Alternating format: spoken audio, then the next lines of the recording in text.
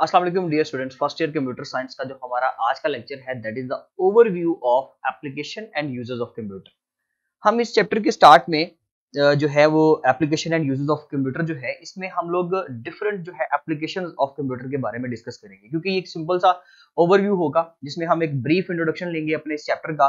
कि इसमें कौन कौन से एप्लीकेशन हैं? And application means advantages and uses of computer तो हम इसमें दोनों को कंबाइनली पढ़ेंगे कि किन किन डिपार्टमेंट्स के अंदर हम इन चीज़ों को इस्तेमाल करते हैं। यानी कि कंप्यूटर को इस्तेमाल करते हैं और इसके नेटवर्क की क्या जो है वो बेसिकली अहमियत है और इंपॉर्टेंस है हमारी सोसाइटी के अंदर। ओके okay, तो चैप्टर नेम है जी application and uses of computer students देखें इसके नाम से ही शोर है कि हम इसमें application and uses of computer पढ़ेंगे। डिफरेंट फील्ड्स के अंदर कंप्यूटर को जो है वो इस्तेमाल किया जाता है एज वी नो दैट ये सब जानते हैं कि कंप्यूटर जो है वो दुनिया की हर फ़ील्ड में ऑलमोस्ट इस्तेमाल हो रहा है। उसमें मेजर कैटेगरीज हैं। कुछ, जैसे कि इसमें आप कह सकते हैं जी आप एक कह सकते हैं कि नंबर वन पे हम इसको बिज़नेस के अंदर नंबर टू हम इसको एजुकेशन के अंदर बिज़नेस एजुकेशन के अंदर, आप इसको फाइनेंस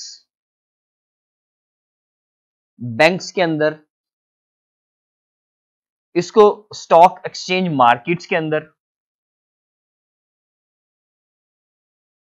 एंड इसी तरह से बहुत सारे फील्ड्स हैं। मैं साथ साथ आपको ये सारे काउंट करवा दूँगा कि फाइनेंस के साथ बैंक्स के साथ एंड स्टॉक एक्सचेंज मार्केट्स के अंदर, इसको हर जगह पे ऑलमोस्ट हम लोग इस्तेमाल करते हैं कंप्यूटर को।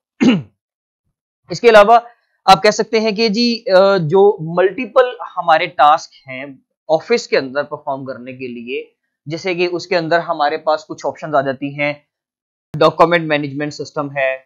इसके अलावा मीटिंग्स हैं चाहे वो वीडियो कॉन्फ्रेंसिंग हो या कोई भी चीज़ हो। इसके अलावा आप कह सकते हैं कि आ, हमारे पास हॉस्पिटल्स के अंदर जो है इसको इस्तेमाल किया जाता है। यानी कि हमारे पास जो है वो बंडल ऑफ़ फील्ड्स हैं भाई जहाँ पर हम इस कंप्यूटर को इस्तेमाल करते हैं। तो हमारे पास जो है वो मल्टीपल ऑप्शन है कंप्यूटर को यूज़ करने के। हमारे पास डिफरेंट फ़ील्ड हैं जहाँ पर हम कंप्यूटर को इस्तेमाल करते हैं। अगर हम बात करें बिज़नेस के अंदर तो बिज़नेस के अंदर होने वाले जितने भी मामला हैं मीटिंग्स हैं, उसमें जो रिपोर्ट्स जनरेट की जाती हैं कस्टमर की बिल्स का कस्टमर की सेल्स का रिकॉर्ड बनाया जाता है। आप किस प्रोडक्ट को बेच रहे हो, उस प्रोडक्ट की डिटेल्स का आपको ये सारा कुछ जो है वो जब अरेंज करना है, उसके डेटाबेस को अरेंज करना है तो उसके साथ आप लोग क्या करते हो? कंप्यूटर को इस्तेमाल करते हो। अगर हम एजुकेशन की बात करें तो हम अपने जितने भी स्टूडेंट्स के रिकॉर्ड्स हैं, वो सारे कंप्यूटर के अंदर इंस्टॉल करने की कोशिश कर रहे हैं। हम वहाँ पे पेपर वर्क को बेसिकली रिप्लेस कर रहे हैं। मैं यहाँ पर एक मेजर पॉइंट लिखूँगा। That is the most important point मैं यहाँ पर उसको स्टार भी दूँगा उस पॉइंट को कि भाई, आप पेपर वर्क जो है ना पेपर वर्क हमारा जो है, उसको रिप्लेस किया गया है। पेपर वर्क को paper work replaced by computer technology कि भाई आप कंप्यूटर की टेक्नोलॉजी के ज़रिए से अपने पेपर वर्क को खत्म कर रहे हो। पेपर वर्क में जो है वो एरर्स जो है मिस्टेक्स का बहुत ज़्यादा चांस है कि भाई आप जब पेपर इस्तेमाल करोगे तो ज़ाहिर है आप लिखने में कोई गलती कर दोगे, आप ओवर कटिंग करोगे, आप ओवर राइट करोगे, उसको पढ़ने में जो है वो थोड़ी सी दिक्कत हो सकती है रिकॉर्ड इधर उधर हो सकते हैं डिस्टर्ब हो जाएगी चीज़ें। तो इसी को अगर हम रिप्लेस कर दें with the help of computer technology तो उससे फ़ायदा ये होगा कि अगर आप उस एक रिपोर्ट की कॉपीज दस कॉपीज दस सिस्टम के अंदर अगर आप रख देते हो तो अगर एक कंप्यूटर आपका चोरी भी हो जाता है, खराब हो जाता है, बाकी के नाइन कंप्यूटर्स में तो आपके पास वो रिकॉर्ड्स मौजूद है। उसके इलेक्ट्रॉनिक रिकॉर्ड्स बनाकर ईमेल्स कर देते हैं, हम फैक्स कर देते हैं, हम टेलीफोनिक रिकॉर्ड्स उसके बनाकर रख लेते हैं, हम उसकी रिपोर्ट्स जनरेट करके उसको रख लेते हैं तो अगर एक जगह से रिकॉर्ड अगर आपका डिस्टर्ब होता भी है तो बाकी के रिकॉर्ड्स तो मौजूद है। तो इलेक्ट्रॉनिक अगर डाटा को बना दिया जाए डिजिटल फॉर्मेट में कन्वर्ट कर लिया जाए, उसको मैनेज करना बहुत आसान हो जाता है। और that is the main purpose of the uses of computer actually तो कंप्यूटर को जब बनाया गया था तो स्टूडेंट्स उसका एक ही पर्पज था। पर्पज तो उसका जस्ट ये था कि भाई आप जस्ट उसके लिए क्या करोगे?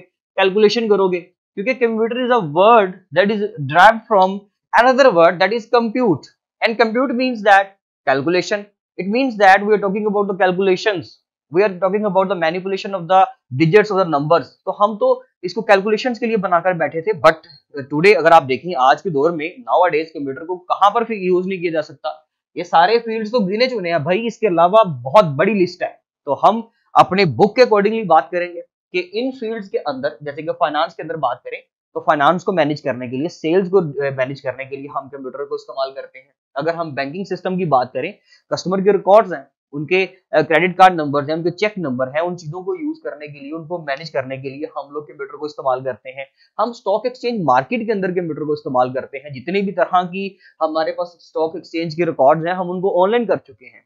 इलेक्ट्रॉनिकली उनको कस्टमर्स इस्तेमाल कर रहे हैं इवन कि आपको तो स्टॉक एक्सचेंज की जो फ़िज़िकल ऑफ़िस एरिया है, उसकी भी ज़रूरत नहीं है। मार्केट की फिजिकली ज़रूरत ही नहीं है आपको। आपने तो सब कुछ इलेक्ट्रॉनिक कर दिया होगा so that's why these are the importance of the computer and these are the uses of computer in many fields हम इन फील्ड्स के अंदर कंप्यूटर को इस्तेमाल कर रहे हैं। हम लोग पेपर को रिप्लेस कर चुके हैं रिपोर्ट्स को रिप्लेस कर चुके हैं with the help of a computer technology अगर इसके अलावा हम बात करें डॉक्यूमेंट मैनेजमेंट सिस्टम की तो that is the most important feature of the computer कि भाई इसके ज़रिए से तो आप बहुत कुछ कर चुके हो। अपने जितने भी वर्ड एक्सेल पावर पॉइंट ये जितनी भी चीज़ें हम रेडी करते हैं तो कंप्यूटर के ज़रिए से करते हैं। हमने सेल का रिकॉर्ड बनाना है। हमने सपोज़ कस्टमर की डिटेल्स लिखनी है किसी जगह पर, उनके रिकॉर्ड्स बनाने हैं, उनके एड्रेसेस का रिकॉर्ड बनाना है, उनकी सैलरी शीट्स बनानी है मुझे, उनके लिए डिफरेंट टेबल्स को फॉर्मुलेट करना है मुझे तो दैट इज़ वाई मैं तो डीएमएस यूज़ करूँगा ना document management system document management system तो आप कंप्यूटर के ज़रिए से करोगे डेफिनेटली इसी तरह से मीटिंग्स करनी है जी ऑनलाइन मीटिंग्स करनी है वीडियो कॉन्फ्रेंसिंग करनी है टेलीकास्टिंग टेलीकास्टिंग करनी है. ये सारी चीज़ें with the help of a computer technology he possible है बिकॉज़ आपने इलेक्ट्रॉनिकली डाटा को हैंडल करना है. इसी तरह से अगर हम हॉस्पिटल के अंदर बात करें, हमारे डिज़ीज़ रिकॉर्ड्स हमारे जो पेशेंट की हिस्ट्री है पेशेंट की रिकॉर्ड्स हैं, वो सारे अगर हम फ़िज़िकल शेप में अगर पेपर की सूरत में लिखते हैं तो मैकेनिकली उनको हैंडल करना बहुत टफ हो जाएगा भाई. एक हॉस्पिटल के अंदर अगर आप एक गवर्नमेंट हॉस्पिटल की एग्जांपल ले लें तो उसमें तकरीबन एक दिन में हज़ारों की तादाद में पेशेंट्स आते हैं। हज़ारों की तादाद में केसेस आते हैं। उनको आप कितने को रजिस्टर्स भरोगे, कितने को डॉक्यूमेंट्स और पेजेस भरोगे उनको लिखने के लिए? सो दैट्स वाई अगर आप एक कंप्यूटर इंस्टॉल कर लेते हो, अगर आप एक नेटवर्क बना लेते हो वहाँ पर तो चंद कंप्यूटर्स के अंदर आपका हज़ारों क्या लाखों, करोड़ों मिलियंस बिलियंस की तादाद में डाटा आप स्टोर कर सकते हो। So that is the combination that is the application and uses of computer जिसके ऊपर मैंने एक छोटा सा ओवरव्यू दिया है कि हम कैसे हर फ़ील्ड के अंदर कंप्यूटर को इस्तेमाल करते हैं। इसके बाद इंशाल्लाह अपना पहले लेक्चर के साथ हम इसको स्टार्ट करेंगे, पहले टॉपिक के साथ स्टार्ट करेंगे। इंशाल्लाह नेक्स्ट लेक्चर में तब तक के लिए स्टूडेंट अपना ख्याल रखें, तब तक के लिए खुदा हाफिज।